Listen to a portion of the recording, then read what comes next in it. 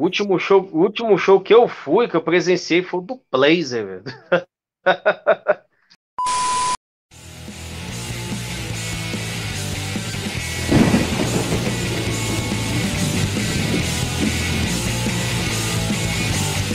Saudações, galera. Quem fala é Pablo Sato. E novamente, quanto tempo, né? Muito tempo depois, mais ou menos uns seis meses, eu acho, sete meses, que a gente gravou um vídeo de videocast, né? Junto com o Douglas Pinheiro, velho de guerra aqui no canal. Só que dessa vez a gente não vai fazer ranking de discografia ou nada do tipo. Vamos fazer uma retrospectiva, tudo que aconteceu aí no ano de 2021. E a gente mais vai focar nos lançamentos, né? É... A gente lançou durante o ano aí, cada mês, um vídeo falando de, de um, dos lançamentos dos meses, né? De cada mês. E nesse vídeo a gente vai falar só dos principais destaques, tá? Então, eu vou dar a palavra ao Douglas Pinheiro, para ele dar um olá aí para vocês. E aí, Douglas, quanto tempo, hein? É, muito obrigado aí por aceitar o convite. Opa! Salve, salve, galera do canal Vlog Rock, Douglas Pinheiro. Dessa vez na live. O quadro Descomentando lançamentos se iniciou em janeiro, onde todos os meses a gente trazia, trouxe, né, no decorrer desse ano, os principais lançamentos de cada mês. Provando mais uma vez que o rock não morreu, que ele continua mais vivo do que nunca. O que acontece é que a galera precisa ser um pouco mais curiosa e que possa ir atrás dos novos lançamentos, porque tanto as bandas novas quanto as bandas antigas continuam lançando, seja disco de estúdio, disco ao vivo, coletânea, as bandas continuam na ativa, continuam trabalhando, e a missão aqui do canal Vlog Rock, do quadro Descomentando Lançamentos, é trazer de forma mensal, uma vez por mês, os principais lançamentos, aqueles mais citados, mais comentados aí pelos principais portais. Então a gente faz um resumão e traz uma vez por mês para aqueles que são curiosos, né? Então, desde janeiro, mês a mês, até dezembro, temos um vídeo mensal por mês com os principais lançamentos. E hoje, nessa live, a gente vai citar os melhores lançamentos de 2021. Pelo menos os principais, os que foram mais comentados, os mais vendidos. Destaques. Os destaques, o, o, que, o que teve mais repercussão, os mais comentados, a gente vai citar os principais. Claro que vai faltar álbum, sim. Ixi. O álbum que faltar, que vocês acharem que não, que deveria ter entrado, mas não entrou na nossa lista, utilize os comentários. Muito importante o feedback de vocês através dos comentários. Para vocês citarem o top 10 de vocês. Vamos fazer o seguinte: a gente vai citar os principais álbuns de 2021 e aqueles que quiserem utilizar os comentários para fazer o top 3 ou top 10 pessoal de vocês, utilize os comentários. Claro, além de curtir o vídeo, além de compartilhar com seus amigos e, claro, se inscrever no canal, porque oh, o Vlog Rock, em 2000, Vlog Rock em 2022 vai ter muita coisa para rolar e vale a pena indicar e conferir esse canal. E vamos para a live. Isso. Então, aí, só é, detalhando aí, né? O, a gente vai falar dos destaques do ano, mas caso algum álbum, se você percebeu que está faltando, possa estar em um desses vídeos. Um desses vídeos de janeiro a dezembro que a gente fez, média de 10 minutos cada vídeo, né? Lembrando que nesses vídeos a gente falou de EPs, de, de ao vivo, é, talvez algumas coletâneas, né? É, a gente deu alguns destaques, então pode, pode ser que está nesses vídeos, né? Eu vou deixar na descrição uma playlist que eu criei só desses vídeos, tá? Incluindo também os melhores discos de 2020. Tem um álbum, o, foi um dos primeiros vídeos que a gente fez nesse formato, né? Tem lá também 2020, bem detalhado também, só para pela nostalgia, né não? Opa, vale a pena relembrar os lançamentos de 2020, né? Porque foi, é. foram tantos lançamentos em 2021 que eu vou ser sincero, alguns lançamentos de 2020 eu já nem lembro mais. Então, assim que terminar esse vídeo, eu vou atrás dessa playlist, vou atrás dos, dos lançamentos de 2020. Então, bora lá. Eu vou colocar o primeiro álbum, tá? A gente fez um catadão aqui. Primeiro lançamento, esse aqui, Accept. Foi lançado acho que em janeiro, né? Isso, podemos dizer que foi um dos primeiros discos de metal de 2021 a ser lançado no mês de janeiro. Estamos falando do Two Men to Die. Tenho aqui, ó, esse fiz questão de comprar, ó, mídia física. Saiu nacional Perfeito. pela Shinigami. Excelente trabalho, excelente capa, né? Capa. As capas não é um grande forte do Acept, mas essa capa desse novo disco eles capricharam. Tá bem detalhada, né? Uma cobra mecânica. Né? Tá bem, uma bela capa e um belo disco. Uma curiosidade: esse disco foi metade gravado no estúdio de forma presencial e, e, a outra metade do disco foi gravado de forma online, virtual, por conta da pandemia. Então temos metade presencial, metade virtual. E outro detalhe, é o primeiro disco do Acept a conter três guitarristas. Deram uma de Iron Maiden. Para o tipo de som, para o tipo de som que o Acept faz, na minha opinião, eu acho desnecessário as três guitarras, porque na década de 90, o Acept lançou discos com apenas uma guitarra, provando que não havia necessidade de ter duas ou três. Três, é, Mas é mais para compor elenco. Mas para é. compor elenco. E o é, engraçado, o guitarrista que entrou agora é o guitarrista do Ace Frehley, do Ace Frehley carreira solo, o Ace Frehley do Kiss. Que é uma baita então, carreira solo, diga-se de passagem. É uma baita carreira solo. Então podemos dizer que o guitarrista do Ace Frehley está no Acept, compõe o um elenco. E outro detalhe, é o primeiro disco a conter apenas um membro da formação original, da formação clássica do Acept. Só sobrou o Carequinha, só sobrou o é um dos guitarristas, né, se eu não me engano. Isso. Os demais integrantes já saíram todo mundo, desde esse retorno virou, do ACEP. É, virou praticamente outra banda, né? Duas fases, né?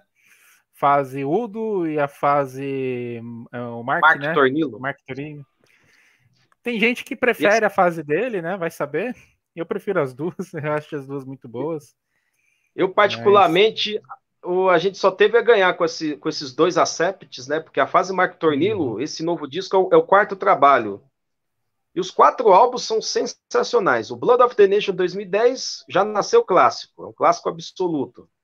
E os outros álbuns que vieram depois, o Stalingrad, o, o Blind Rage, o The Ruins of Chaos e agora esse novo disco, na minha opinião, todos excelentes. Então a banda só teve Bom. a ganhar. E nós temos o Acept com o Mark Tornilo, Podemos matar a saudade do Acept com o Udo. E temos a carreira solo do Udo, que está mais ativa do que nunca, inclusive teve álbum esse ano. É, a gente vai falar desse álbum também nesse vídeo, hein? então fique na guarda. então acho que, é, acho que é isso, né? Tem muito a acrescentar. Assim, minha opinião é que ele. O Acept ele é tipo o Motorhead e o Slayer. Tá sempre ali, ó, na mesma pegada. Todos os Mesma álbuns. pegada, mesmo estilo. É.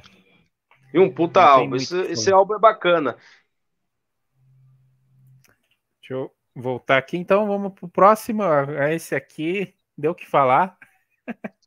Saídas recentes. É. E, a Nervosa, né? Tava, tava em alta, né? A Nervosa já é uma grande banda. É uma das. Quando a gente fala de bandas nacionais é, grandiosas, né? a gente não está só restrito a Sepultura e Angra, né? Nervosa, na minha opinião, já entrou nessa, nesse mesmo patamar, né? Em termos de relevância. O, e esse o Nervosa é o falar para ser lançado. Então, o Nervosa é o seguinte: o Nervosa conseguiu o mesmo feito do Angra e do Sepultura.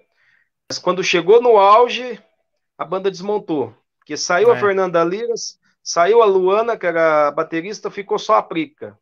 Prica Amaral, fundadora da banda, a banda surgiu em 2011 né? Eu tive o prazer de ver a Nervosa a primeira vez ao vivo em 2012, antes de lançar o primeiro disco, quando elas abriram um show para o Êxodos. Elas estavam no comecinho de carreira, ninguém conhecia, e aí elas já estavam ali, abrindo show para as bandas, né? Abriu show para o Slayer, para o Slayer não, para o Êxodos, e para um monte de banda aí. E quando elas conseguiram a oportunidade de conseguir tocar no Wacken, que essa apresentação só não aconteceu por conta da pandemia, a banda desmontou, porque a Fernanda Lira e a Luana saíram do Nervosa e formaram a Cripta, que também lançou um disco novo esse ano, tão bom quanto este da Nervosa. Já a Nervosa fez também. o seguinte, é, já a Nervosa é o seguinte, sobrou só a Prica. E de imediato ela foi atrás de outras integrantes. Então, para os vocais, ela trouxe a diva satânica. Para o baixo, ela trouxe a baixista do Abaf, o Abaf que era do Immortal, a Mia Wallace. Então, podemos dizer que o Nervosa realmente virou uma banda gringa. É a banda uhum. da Prica com um monte de, de gringas. De gringa. E lançaram esse disco, né? Que é o Perpetual Chaos. Inclusive, a formação uma das... acho que é cinco, né? São cinco integrantes no Nervosa agora, né? Se eu não me engano. Cinco ou quatro, né? É, o Nervosa agora tem uma baixista, vocalista, falta só uma segunda guitarrista. na minha opinião, é, acho que falta uma segunda guitarra na Nervosa. Acho que são quatro, né? Quatro integrantes agora, né? Acho que é quatro, quatro integrantes. E nesse disco nós temos a participação do vocalista do Destruction, o Shimi. Ele participa ah, de uma ele das paga faixas. pau pra elas. ele é amigo ele... pessoal da, é. da Prica, da Prica né? né? Mas da, se você pagar... da Fernanda também. Fernanda. Mas se você parar para pensar, a forma que a Fernanda toca e, e canta lembra o Shimir do Destruction. É, é muita influência, né? Ah, formação também, né? Um Muito influência. Do, agora o Nervosa... É Apesar que agora Apesar que o Destrucho agora virou um quarteto, né? Eles adicionaram mais, mais uma guitarra. Tipo, o Destrucho agora só sobrou o, o vocalista da, da formação vai, clássica. Clássica. Fez que nem uma Sept, mandou todo mundo embora. Trocou todo mundo. é, mas a diferença é que ele tem mais presença de palco, né? Ele é vocalista, né? Não...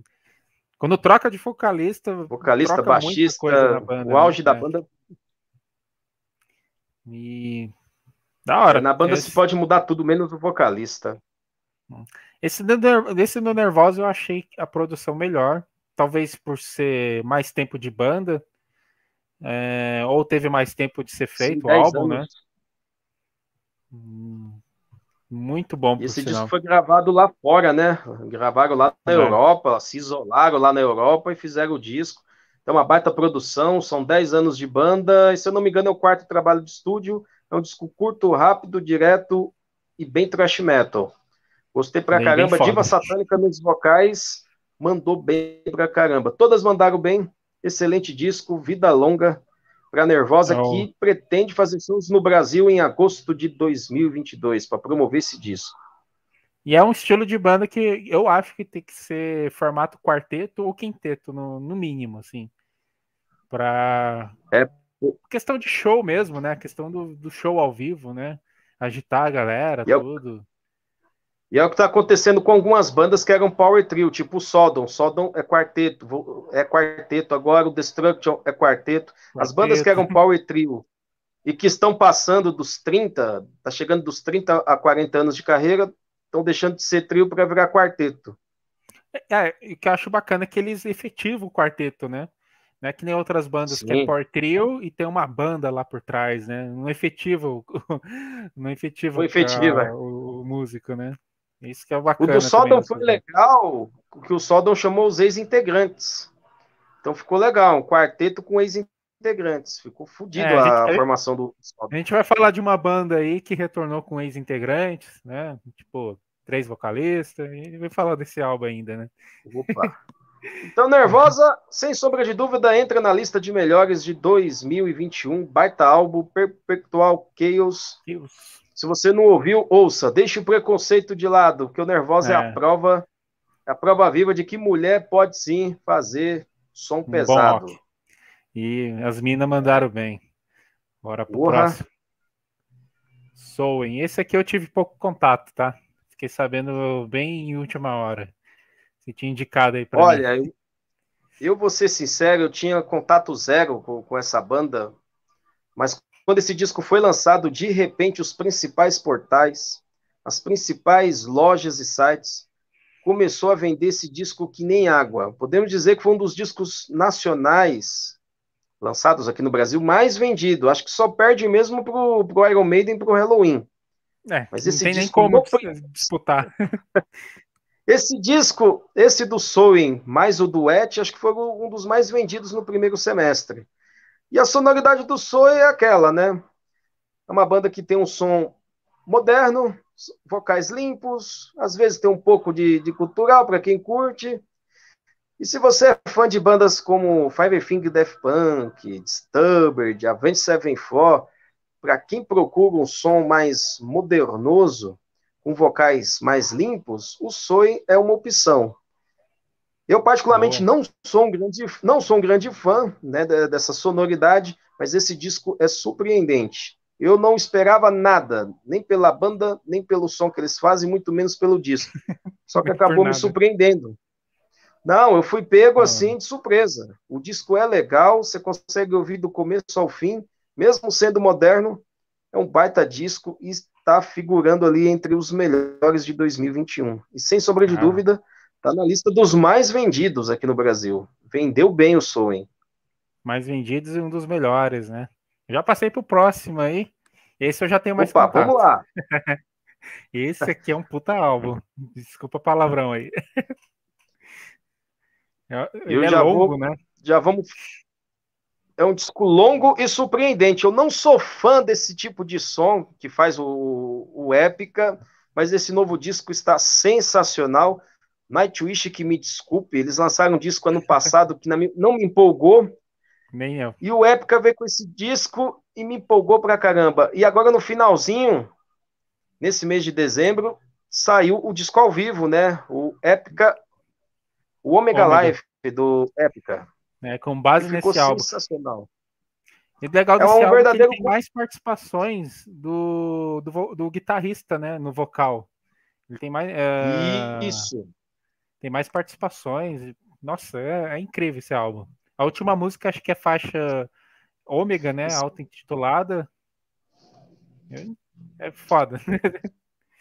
Você chegou a escutar bastante ele? Não, para você ter ideias. Eu escutei bastante, ó. Tanto Épica quanto Soy são dois tipos de banda assim que eu não sou chegado assim no, na sonoridade. Mas hum. os dois discos, tanto do Épica quanto do Soy, são sensacionais. Me chamou a atenção Principalmente o Épica, com a banda que eu nunca fui chegado, mas esse novo disco vale a pena ouvir duas, três, quatro vezes, vale a pena ouvir o ao vivo. Que é o Omega Live. melódico, né? Surpreendente. Nightwish, Afterlife, né? Nightwish. É. Interpretation. É, é, não sou chegado. Evan, Evanescence também pode entrar nessa, nesse, nesse bolo todo, né? O Evanescence, é. só que surpreendeu bastante no novo disco. Mas são bandas assim que eu não botava. são bandas que eu não botava muita fé, mas que tá surpreendendo no novo, no, nos novos trabalhos. Gostei bastante. Vamos pro próximo. Próximo, porque a capa também é linda, né? Nossa, esse álbum aqui eu paguei pau. Vamos lá pro próximo. Esse aqui a gente nem lembrava que lançou esse ano, mas é um puta disco. o nosso querido. Cara, velho. Alice Cooper. Conhecido, Alice Cooper. Detroit Stories. Para quem curtiu os discos anteriores dele, né, o Paranormal, né, hoje mesmo adquiri dois discos do, do, L, do, do, L, do Alice Cooper, uma coletânea dos anos 70 e o álbum de 2011, se eu, se eu não me engano. Adquiri, adquiri hoje e eu tenho que ouvir ainda. Sobre esse novo disco, eu achei melhor que o anterior. É um disco Também. que, vamos ser sinceros, de, devido ao, aos inúmeros lançamentos, esse disco, para alguns fãs, passou desapercebido, infelizmente. Só que vale a pena ouvir. O Alice Cooper mantendo a mesma linha, a mesma pegada, aquele mesmo som característico. Se você colocar para escutar os primeiros minutos, você já vai saber que é o Alice Cooper e já está figurando sim entre os melhores do ano. E esse disco foi lançado nacional, se encontra nas melhores lojas do Brasil. Ele, ele parece que foi a primeira música, acho que é rock and roll, parece música dos anos 80. Se fosse lançado é nos mistura... anos 80, já, já ia nascer um clássico, né? A capa já é um clássico, e se tivesse sido é. lançado nos anos 80, parece que ele mistura o som dos anos 70 dos anos 80. É um som bem característico. Particularmente é, gostei bastante desse Cooper. É o... Ele tá de parabéns, 50 né? Anos... 50 anos, o quê? 50 anos de carreira e ele foi o é. primeiro é. show de, de rock do, do, Brasil. Ele veio no Brasil em 1974, na turnê do Killer, que é o quarto disco dele de estúdio. Deu ele foi um guerreiro. Veio pro Brasil sem conhecer nada e sem o povo conhecer ele, e diz que os shows foram lotados. Então, um dos caras, primeiros né? artistas. É. Que foi ele, né? Alice Cooper, o Genesis, já com Phil Collins no, nos vocais, e depois veio The Policy, Queen, Kiss e o Van, e o Van Halen. Aí depois Aí teve de... o Rock in Rio 85. É. Aí depois é, o resto é história, né? Rock in Rio de 85, é... o resto é história. O resto é história. Fica para outro vídeo. é. Mas tá de parabéns, nosso querido velho Alice Cooper. Ele não se entregou de vez, né? As modernidades. Tá firme e forte, hein? Vamos pro próximo. E então. lançando discos, tá, podemos dizer, num curto espaço de tempo, que o, o anterior saiu em 2017. Agora em 2021 já saiu outro. Saiu num curto espaço de tempo. É. A gente comentou, né?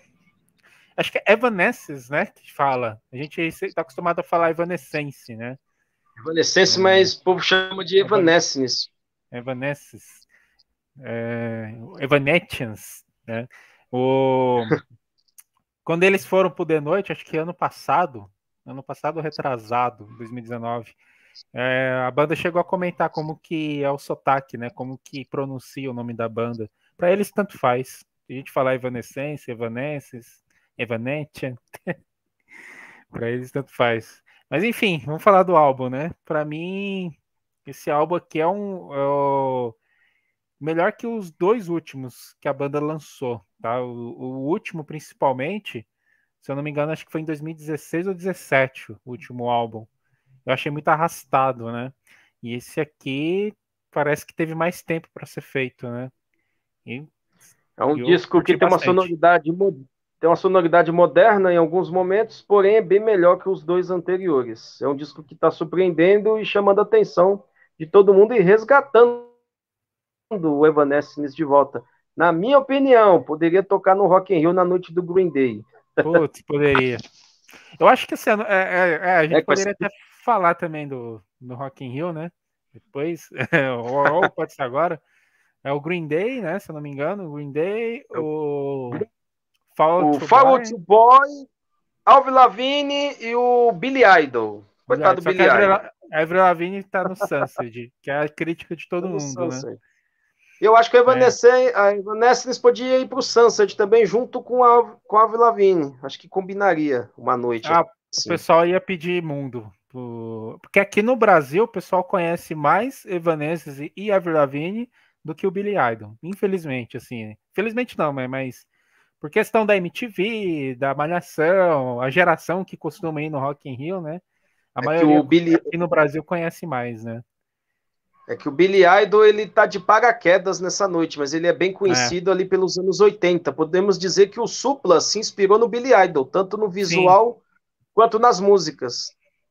Ele tá ali né? para quebrar o gelo.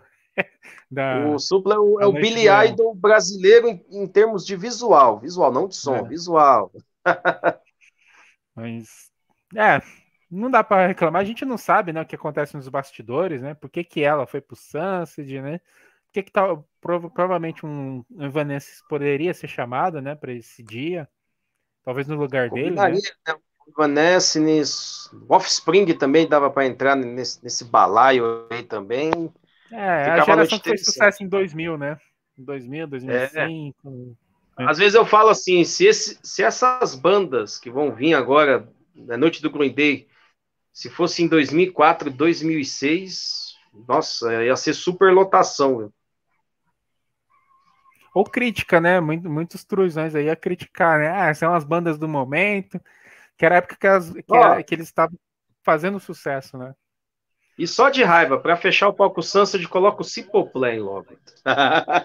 é, seria uma boa. Nickelback, imagina um, um, um dia com Nickelback, Simple Plan, Evanescence, Creed, Creed. Né, o Creed, o Elvis Lavigne, é. né? Só não, a gente só não coloca o Linkin Park porque infelizmente já não, não tem mais. É. E acho que o Green Day, eu acho que foi, foi justíssimo colocar o Green Day, porque o Green Day, ele apesar que fez, fez, sucesso também em 2000, ele fez sucesso lá atrás, em 90. Em, Nos anos 90. Em 94. É, é, é assim: a, do, do, primeiro disco até o American Idiota em 2004, a discografia é excelente. Os dois últimos álbuns eu acho péssimos. Só que teve gente que gostou. Achou é. horrível. Os dois, os dois últimos do, do, Green Day não desce. Mas teve gente que gostou. Então a banda que está nativa continua lançando discos e tem uma parcela de fãs que curte os últimos álbuns. Uhum. Acho que é uma da, é a, a, mais antiga desses aí que a gente citou, né? Evanescence, Deborah Lavigne, né? Green Day tá aí até hoje. Mesma formação, né? Power Trio. Mesma formação, Mesmo. 30 anos de carreira e uma discografia é. consistente. Discografia com, consistente e regular. E voltando ao, ao Evanescence, Emily tá de volta, agora é a dona da banda, né? Voltou é, aí ela se separou do marido, teve os filhos, né? Gravidez, é. acho que agora ela volta, volta de vez. Firme e forte. Tá... Firme e forte. Vida longa a Emily também. Bora pro é. próximo ali. Opa! Opa! Esse aqui aí. é. Esse aqui esse, é muito esse é, o... esse, esse é, o no... é, um velho conhecido nosso. É. Ah, gente boa. Para quem não conhece, Blaze Billy, ex-vocalista do Iron Maiden, né? Pertenceu ao Iron Maiden ali na, no final da década de 90. Foi questionado, né? Foi bastante questionado pelos fãs, mas tem uma carreira sólida, é uma carreira solo sólida. Bastante sólida e muito boa por sinal. E eu tenho assim pena de quem não conhece a carreira solo do Blaze Billy. E esse álbum aí é bom. O que, que, você tem para falar dele? E What With Me, novo disco do Blaze Bailey, 11 disco da sua carreira solo, carreira solo que se inicia em 2000, com Sally Comensaia. E o Blaze, claro, fiz questão de comprá-lo, ó. Tá aqui, ó, versão nacional pela Diamond. Perfeita. Mesmo, mesmo selo que lançou o disco da, da Cripta. Ó, disco nacional com Slipcase.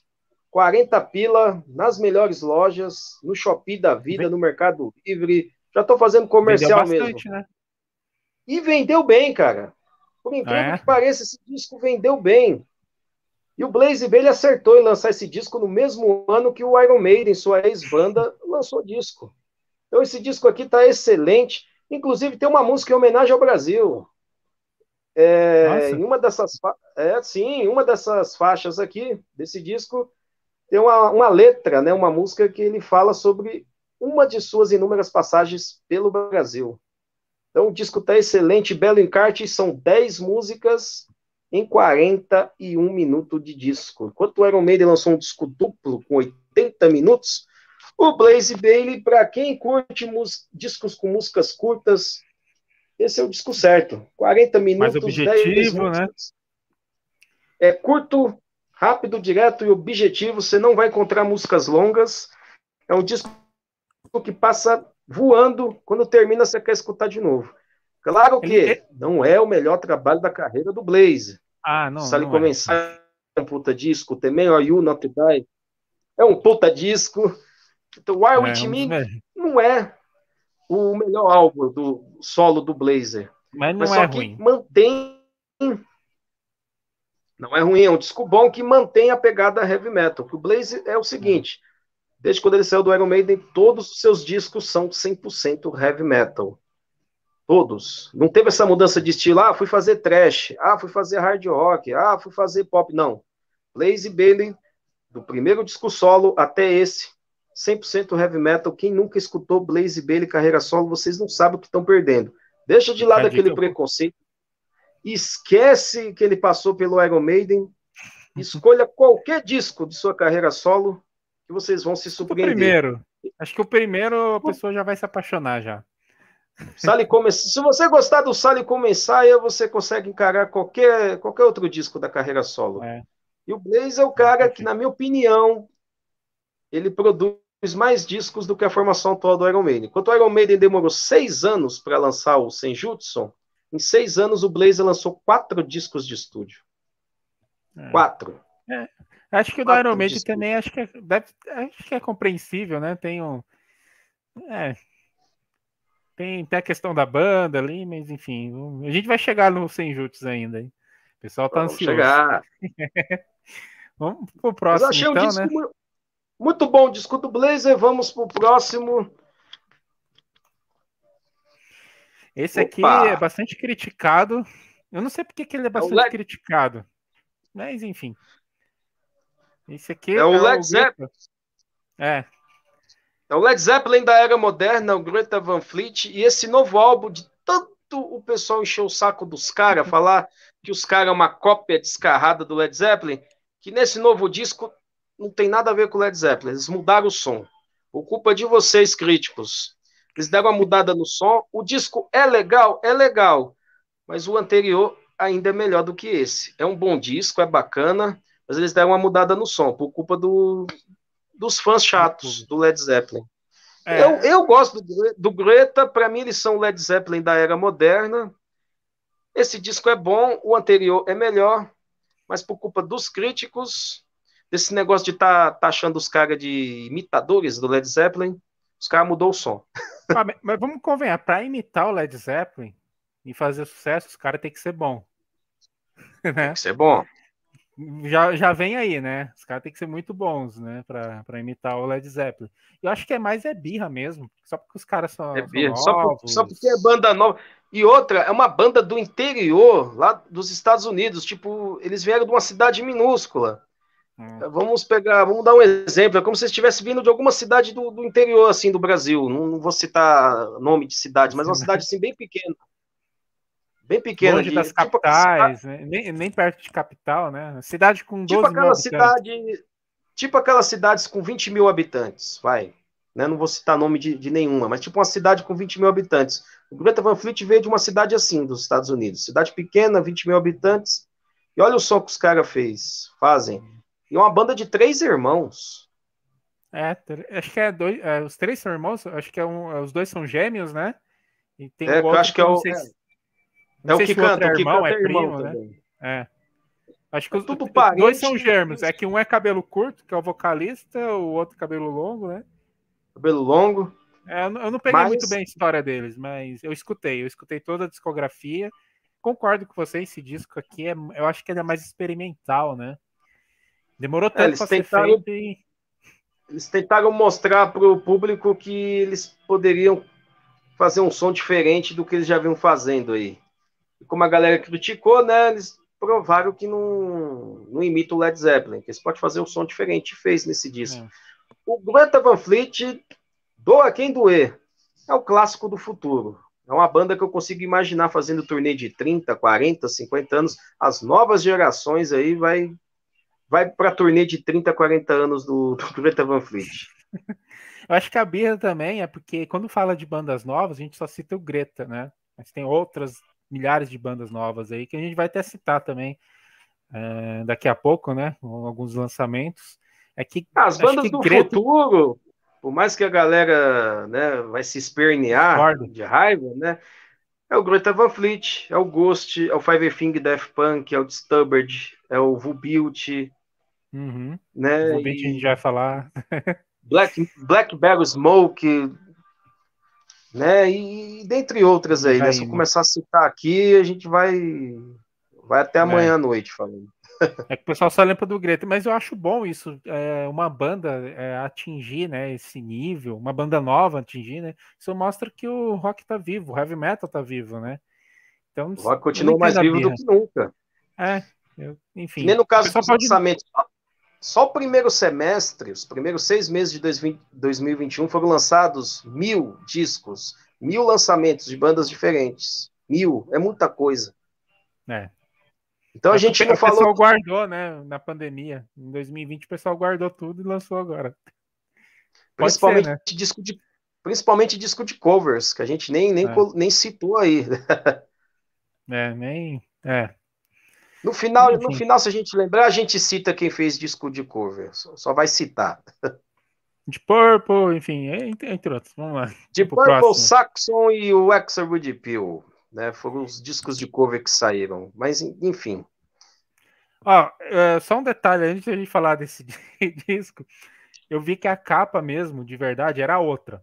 Só que não... essa capa já é meio perturbadora. Só que se eu pegasse a capa de verdade, acho que eu ia tomar um strike do YouTube. O YouTube ia me bloquear. Você tomar que a outra capa ela foi censurada, só que na versão que saiu aqui no Brasil, versão nacional, saiu com as duas capas. É, e você pode e você pode escolher qual capa você quer utilizar na frente do seu CD. É. Mas é, acho que essa é a capa a capa mais é boa, né? A mais de boa, porque a outra é, é complicada mesmo. Eu escolhi essa, tá? Então, mas enfim, é o mesmo disco. Cannibal Corpse, é, Violence Unimagined. Unimagined. Olha, Olha, sobre esse disco, pode falar. Tá, assim, eu não sou muito fã do Cannibal Corpse. Já falo aqui logo de cara, assim. Só que os últimos trabalhos, acho que os três últimos, quatro últimos, eu gostei por causa da produção do disco, né? Mas não é um, um estilo de música, estilo de vocal que eu curto. Tá? E esse disco eu achei escutável, só que eu já ouvi coisas melhores do Cannibal Corpse. Não sei a sua opinião desse. Olha, uma coisa eu vou concordar com você. Os últimos discos do Cannibal estão muito bem produzidos. Produzido. Eu acho que não só o Cannibal, demais bandas de thrash, death e black metal, Todos, parece, né? que a, parece que até que fim aprenderam a mexer no som. Hoje, antigamente era aquele som abafado, com aquela barulhada que não se entendia absolutamente nada, e hoje em dia, com a tecnologia, o som está mais audível, principalmente vocais e as partes instrumentais.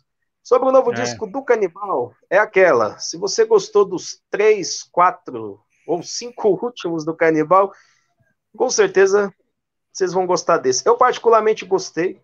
Não é minha banda preferida, mas eu particularmente gosto do Canibal. O Canibal Corpse é dividido em duas fases, né? Tem a fase do Chris Barney, que atualmente está no Six Feet Under, e a fase do George Fisher, que é esse vocalista atual, né?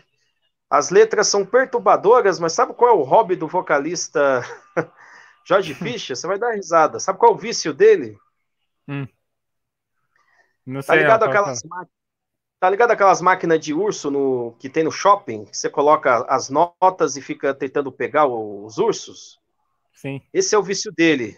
Ele ah, torra ah, por isso que eu já vi foto dele com ursinho, assim, ele segurando. Ele torra toda a grana, toda a grana dele nessa máquina para adquirir ursinhos para as filhas dele. E os ursinhos repetidos que as filhas dele não querem mais, ele doa para instituições de caridade. Para vocês verem o quanto o vocalista do Cannibal Corpse é maldoso e perturbador. É. Quem, vê cara, quem vê voz, não vê coração. quem vê então, essa, essa, esse é o vício dele, cara. Ele não, ele não bebe sangue durante as refeições, não. É, o hobby dele é isso aí: é ir lá no shopping center, lá da, da onde ele mora, né, Estados Unidos, e ficar o dia todo nas maquininhas caçando ursinho.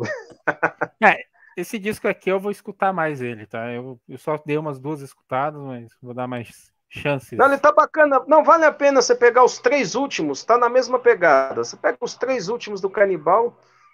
É. Vai, os primeiros vai ali não, não me agrada tanto assim, não. E, a gente pode é, até discutir primeiro... isso também uma, em uma live, né? Dos discos de bandas de trash antigamente, né? Qualidade é. ruim, só que com muita atitude, muito as músicas são clássicas, só que aqui ao vivo, né? É. E ao, ao vivo, o Cannibal Corpse manda muito bem, tanto ao vivo quanto em estúdio. Pelo menos nesses últimos discos, cara, a experiência fez a banda né, evoluir, melhorar. E é isso aí, um baita disco. Bora. Mudando da água pro vinho. É, bem pro vinho, um punk. A gente comentou desse disco quando falou do Evanescence, né? Do Evanescence. É comentou da banda, né? The Offspring. Eu acho que esse disco aqui tá, tá abaixo dos outros, mas não é ruim. O comentário do pessoal do Candeland é o seguinte, que tá melhor que o anterior, só que eu particularmente a faixa título desse disco, que é a segunda faixa do álbum, para mim é uma coisa horrorosa. É uma coisa que não tem nada a ver com Offspring, é uma música pop que dá para tocar nas baladas que toca Katy Perry. É muito ruim a música título, a faixa título. Per... A minha única Perderam o punk e colocaram muito pop, né? O punk, o punk pop. É. Então, a minha única crítica é a segunda faixa desse disco. Para mim, é a pior música do, de toda a carreira do Offspring. Tirando a faixa título, tirando a faixa título, o restante do disco é bom, é agradável. Claro que não se compara com os, com os clássicos, né? Muita o gente América. gostou, achou melhor. Nossa, passa o Smash, passa longe, passa muito longe. Esse disco e o anterior passa longe daquilo que o Offspring foi um dia. Mas muita é. gente está curtindo mais esse álbum do que o anterior. Para mim, continua abaixo. Tem que o melhorar muito ainda. Qual álbum? Agora eu não, eu não, lembro. Deixa eu ver aqui. Eu posso ter perdido de escutar o álbum anterior. Estou falando besteira. É... é, o anterior ele já é bem, bem mediano, né? Muita gente não gostou, já faz tempo que ele foi lançado, não sei se ele foi lançado há 10 anos atrás, mas fazia muito tempo que o Offspring não lançava é, nada. Então, eu, eu, tô, eu tô com imaginação que faz tempo que eu escutei algo novo do, do Offspring. Faz muito faz tempo, tempo, é. Mesmo. Mas deixa a desejar. Podemos dizer que tá. os três últimos deixa a desejar. Foi em, 2000, foi em 2012. Isso, 2012. depois disso, Quase 10 anos para lançar esse novo. É, eu tô confundindo com o álbum de 2008 ainda. 2008 é um eu, disco é bom. 2008 é bom, é, dois, eu gostei. 2008 é bom. Diz que é a partir do, desse de 2008 que começa o declínio, né? A partir daí. É. Mas ainda é bom tem de 2008. tem um de 2003 também, tem um hit. É, isso mesmo. É, o não, de 2003 ainda é, o 2003 para baixo ainda é clássico é. ainda. Então, de 2008 faz... é o declínio. É. Que esse, é, esse de é... 2008 é. Tá, tá, na faixa. É um disco que divide opiniões. Tem gente que gostou, tem gente que não gostou. A capa é legal, a faixa título para mim é terrível, mas teve gente que gostou. Então divide opiniões. É, é aquelas bandas que só presta se, o, se a pessoa for jovem, for um adolescente, tá no começo ali da vida adulta, né? Agora os caras já são velhos. Tá quase na é assim, os caras são velhos é. fazendo música de adolescente, é que nem é. a Alvi Lavigne. A Alvi Lavigne tem 40 anos, mas se comporta como uma adolescente de 15 no, no é, palco. Tem quase né? 40, né? Tem 30 e... Sei lá, quase 40. Foi, foi casada com o vocalista do... Foi casada com o vocalista do Nickelback. Mas a diferença é que a Avril Lavigne parece ainda, né? Uma jovem adolescente. Parece, né? Ela não envelhece. Porque, é, a maquiagem ajuda bastante. Também, também. Vamos lá, o próximo. Mas ela é nova ainda, a Vila ainda, ainda é nova. E esse aqui, Fortitude do Gojira. Esse disco, para muita gente, é considerado Pedrada. um dos melhores de 2021. Eu, particularmente, não sou um grande fã dessa sonoridade moderna, né, o vocal modernoso, não sou fã, e eu também não, não, não, não gostei muito desse disco. É. Né? Mas esse disco ele tem que ser citado e tem que estar na lista dos melhores, sim, porque muita gente gostou, muita gente curtiu. Esse disco saiu nacional. Tem até uma música falando sobre a Amazônia. Né? Lembraram de nós, lembraram do Brasil. Né? É, e... Rendeu uma polêmica e tudo mais. O disco não tenho o que falar. Para quem curte o é som do excelente. Gojira, é um disco excelente. Agora, para quem não é chegado nessa sonoridade moderna, que é o meu caso, né, não vai colocar ali no, no top longe. 10. Não está no, meu, não tá no meu top 10. Mas tem que ser citado como os melhores, sim. Teve um grande destaque esse disco. É, eu, eu tive o primeiro contato com a banda no primeiro disco, depois só nesse disco. Confesso que eu não acompanho a banda.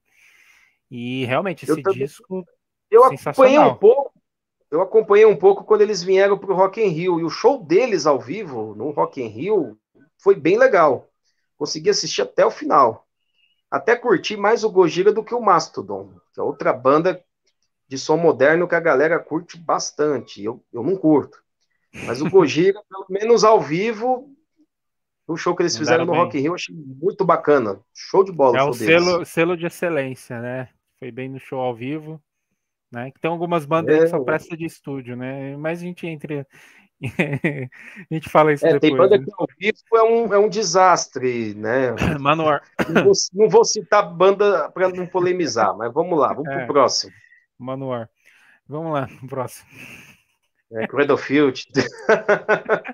Manowar.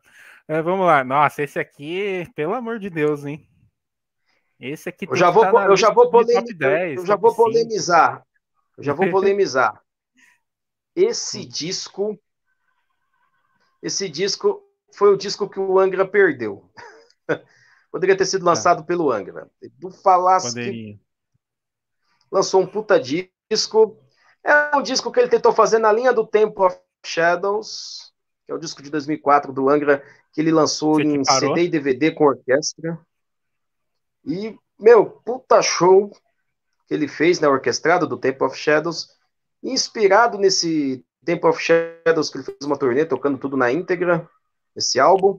Ele acabou lançando aí o Vera Cruz, um dos melhores discos de 2021. Foi bem destacado, bem elaborado, bem falado. Baita disco. Eu particularmente gostei, bem, tá no é... meu top 10. Ele é tipo, ele tem uma pegada medieval, só que ao mesmo tempo brasileira, né? Tanto o nome do disco, algumas canções também, né? Porque a gente, a gente dá esse apelido aí de metal castelinho, né? Mas o, ele tá muito Angra esse disco.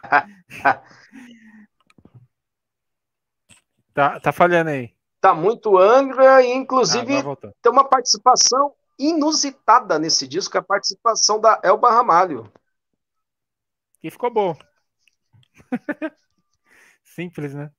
Não, baita disco, nota 10, excelente. E tem o Edu Falaschi, tem o Aquiles Priest, é um disco que foi feito pelos ex-integrantes do Angra. É. Ele. Vida longa a carreira de Edu Falaschi. Né? Finalmente ele assumiu, né? A carreira de Edu Falaschi. Né? Não... É, falhou... é, carreira solo. E um detalhe, para é. quem é fã do Edu, para quem é fã do Edu, é, todos os discos do Edu, fora do Angra, todos os discos do Edu, fora do Angra, estão sendo relançados. Então, para quem curte as primeiras bandas do Edu, aproveite e corra atrás. Né? Os discos do Symbol, do Mitrium, foram as primeiras bandas do Edu Falas que foram lançados recentemente, de é. forma nacional. Aí já baixa o áudio das músicas que ele cantou do Cavaleiros do Zodíaco e já era, já fechou tudo.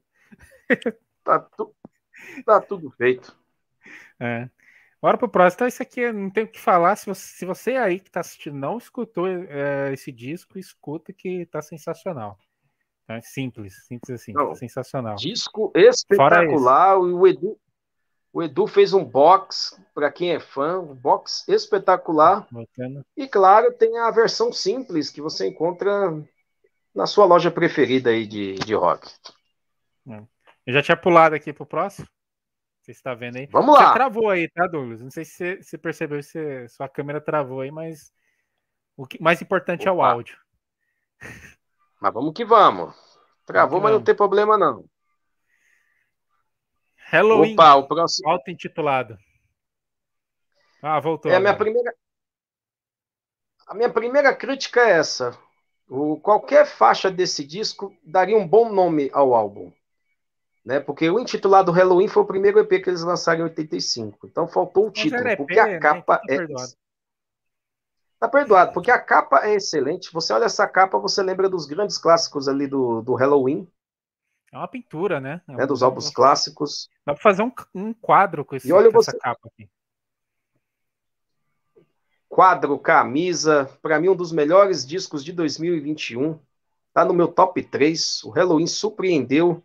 Né? Minha única crítica é o disco não ter um título e, e todas as músicas terem duetos. Eu acho que faltou uma música ali só com Andy Davis, faltou uma música só com uhum. Michael Kiske. É o único defeito do, do disco, é ter tido dueto em tudo. Em algumas é. partes é desnecessário. É só Sim. essa crítica. Mas tirando isso, é um puta disco. Até as o... faixas bônus são, são boas. O, o, dueto, ele é tipo. A gente esperava muito os, dois, os três, né? Os três vocalistas, três fases cantando junto a mesma música. Só que aí eles abusaram, né, disso, né? Seria da hora também ter um, pelo menos uma música, apenas um cantando, né? Apenas um Mas... cantando. E nem, ó, é. a, faixa, a faixa de abertura. A faixa de abertura poderia ser só o Michael Kiske. e tem, outras, tem outra faixa que poderia ser só o Andy Delris cantando. Sim. E, assim, e o Kai assim também, mesma coisa. Kai Henze com uma faixa, aí seria legal. É. Mas tirando só, isso. Só que a faixa que, a faixa que eles divulgaram, que é a Skyfall, puta, é uma música excelente. Tinha que ter os três cantando. Né? A Tinha música tem três. começo, meio, fim. Você nem percebe que tem 12 minutos aquela música. E a música é tão boa. E tem a versão editada, que é 7 minutos, tem a versão original, é. que é 12 minutos, e o single da Skyfall saiu nacional. Né? Só não sei se ainda tem a venda, mas saiu single com as duas versões da, da Skal, Skyfall, que é a melhor música do disco, na minha opinião. A faixa de abertura e a Skyfall são as minhas preferidas. É, tem uma outra que eu não lembro o nome agora. Que eles lançaram também videoclipe. Enfim. acho que é Massion Massion Illusion, Massion Pollusion, uma coisa assim também é, é boa. Não vou lembrar é, dos títulos agora. Eles lançaram recentemente o clipe aí. Aquele clipe de, de letra, né? Clipe desenho Mas... animado, acho que foi da faixa de abertura, se eu não me engano. É. Uh... Não, esse desenho animado acho que foi recente agora, nessa semana, se eu não me engano. Teve um que foi uns meses foi, atrás. Foi, foi, recente, foi recente. Mas, enfim, e a, em 2022 em 2022 eles voltam ao, aos palcos, vai promover esse disco, deve passar aqui no Brasil. E o Halloween foi uma banda que subiu de patamar. Se eles lotavam com casas fechadas, agora eles já conseguem até lotar estádios. Ah, sim com a volta, né, do, do Michael Kiske e Kai Hansen, né? Inclusive fazer a propaganda aqui, eu tô fazendo a biografia do Halloween, acho que já tá na terceira parte ou segunda parte terminada. Fica o convite aí também. e também tem análise somente desse vídeo, somente desse disco, a gente fez uma análise separada, né? Um vídeo, vou deixar também linkado na descrição, que para vocês verem o tão foda foi esse disco. Fizemos a análise desse disco e ficou sensacional. Vale a pena conferir, analisando faixa por faixa, contando todo o contexto histórico de quando eles se reuniram. Enfim, o vídeo está excelente, vale a pena. Vale a pena ver e vale a pena também assistir a biografia. A biografia do Halloween, duas partes já saíram. E em breve vai ter mais uma parte também. Enfim, vale a pena. O intitulado Halloween de 2021, sem sombra de dúvida, está entre os melhores de 2021. E vamos para o próximo. Está no meu top 5.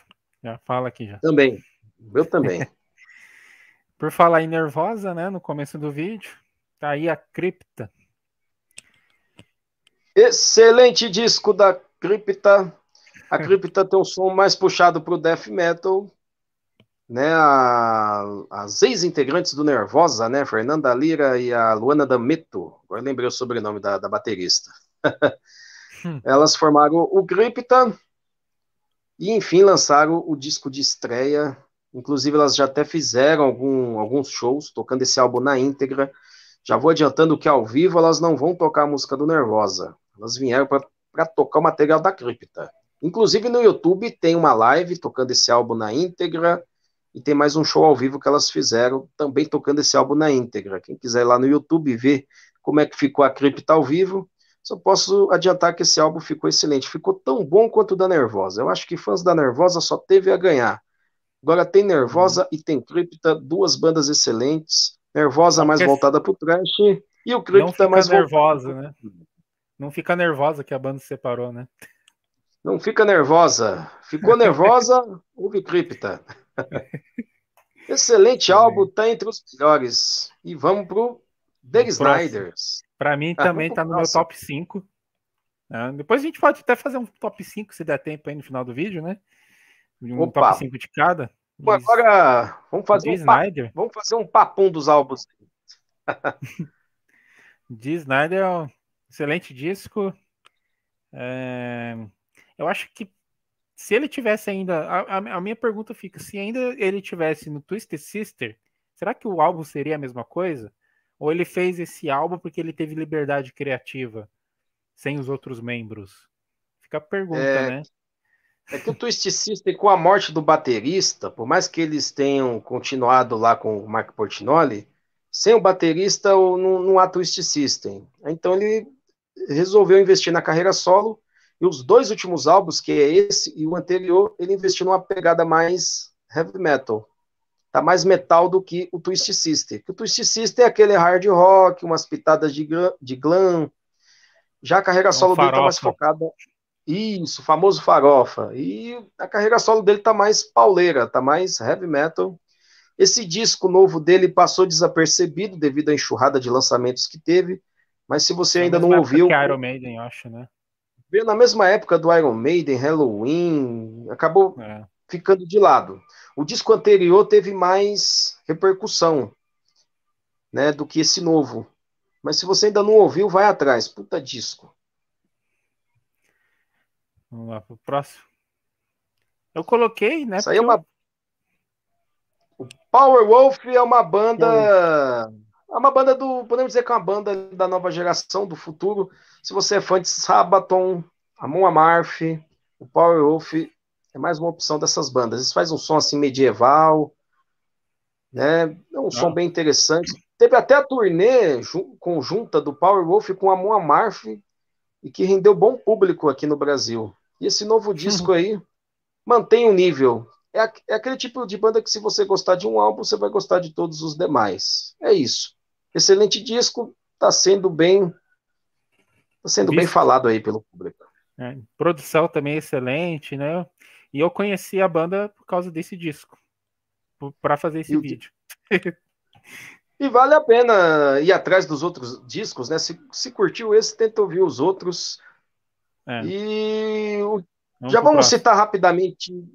O próximo é o Wet, né? O Wet foi lançado, acho que em fevereiro, se eu não me engano, foi bem no começo do ano. Você o Wet é o uma, quarto uma outra banda aí? Ou era essa mesma? Tinha o Ginger, né?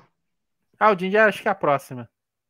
É a próxima. O é. Ginger vai ser, vai ser rapidinho. Mas vamos no, no Wet. O Wet é um super grupo formado pela Frontizo Records. Eles não fazem shows, não fazem turnê, só lança discos. E uma esse pena. Retransmission vendeu muito bem. Então podemos dizer que um dos discos. Uma pena, uma pena não ter show, né? Deles, não fazer uhum. turnê. É por questão de logística, porque a metade da banda está na Suécia e o vocalista está nos Estados Unidos. Então é questão de logística, né? Então eles não fazem show por Virtual. conta disso. E esse álbum está excelente. É, esse álbum está excelente, um dos mais vendidos aqui no Brasil, junto com o Soen, com o Iron Maiden o Halloween. Esse disco vendeu bastante, teve bastante destaque aí no primeiro semestre.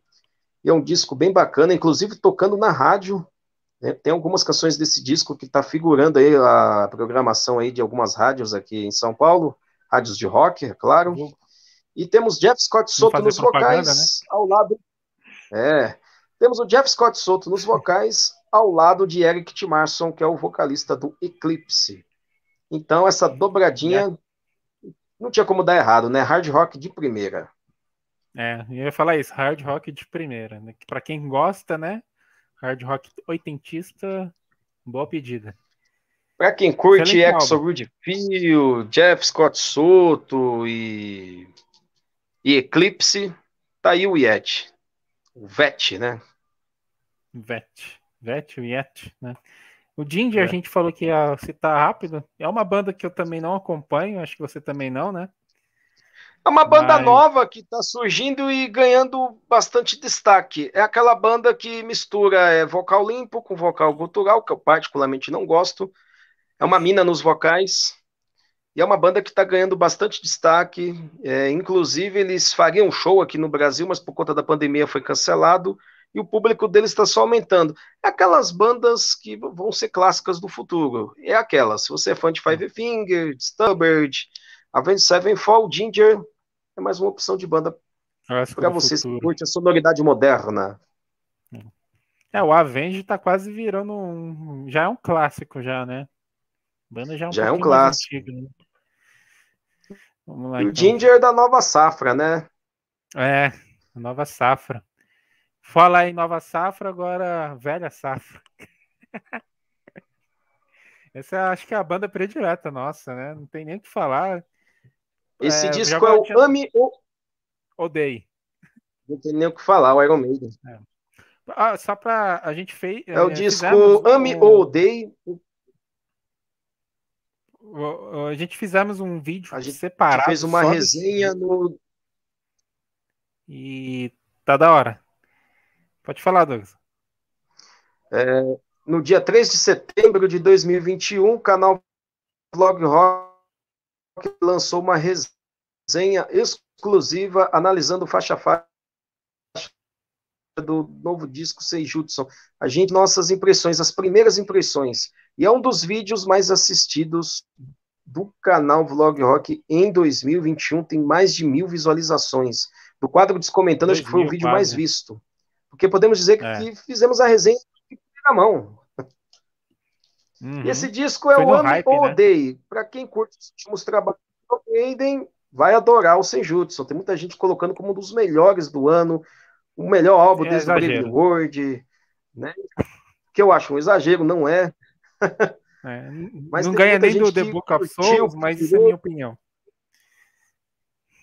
Eu também vou concordar, hein? E olha que eu fui bem crítico ao The Books of Souls na época que saiu, mas eu acho o Senjutsu abaixo do The Books of Souls em termos de produção e mixagem. Eu achei a produção e a mixagem desse disco bem abaixo do Books of Souls, bem abaixo do que o Iron Maiden sempre apresentou. Às vezes eu brinco e falo que a produção do Virtual Eleven está melhor do que a do Senjutsu, né? Termos de produção, né? Se uhum. a gente for uhum. parar para ouvir a produção, né? Tá um, tá um pouco melhor.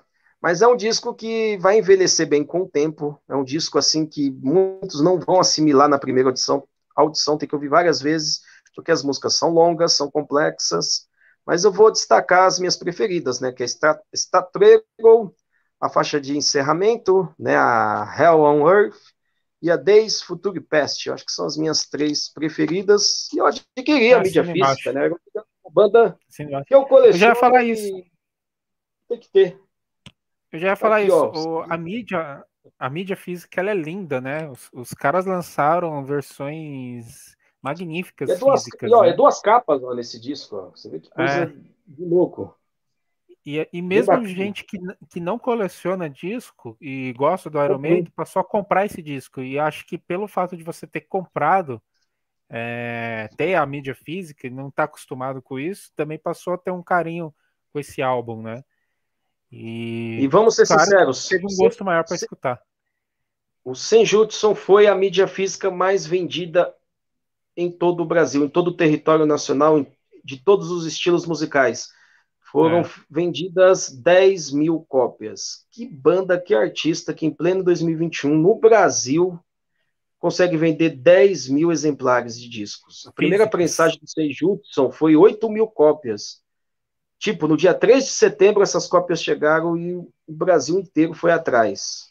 Todo mundo foi atrás do Senjutsu. Inclusive, quem não, quem não compra a mídia física acabou comprando, porque era o Iron Maiden. Era o Iron Maiden. É, a temática também, né? A temática japonesa, ser um disco duplo, né? E o Iron Mais Maiden. um disco. É, primeiro disco com nome importado, né? O nome japonês. Uhum. Então... E um disco vai envelhecer bem com, com o tempo, né? Mas de vai. primeira ele vai, ele vai, dividir muitas opiniões. É. Mas eu acho que mesmo envelhecendo bem, eu ainda vou preferir The Book of Souls. Eu, eu também. eu também, Mas... porque para mim, ó, vou ser sincero, a, a, Death of Glory é a canção mais próxima ali da década de 80 do, do, é. do, do Iron Maiden. É o clássico do né? clássico.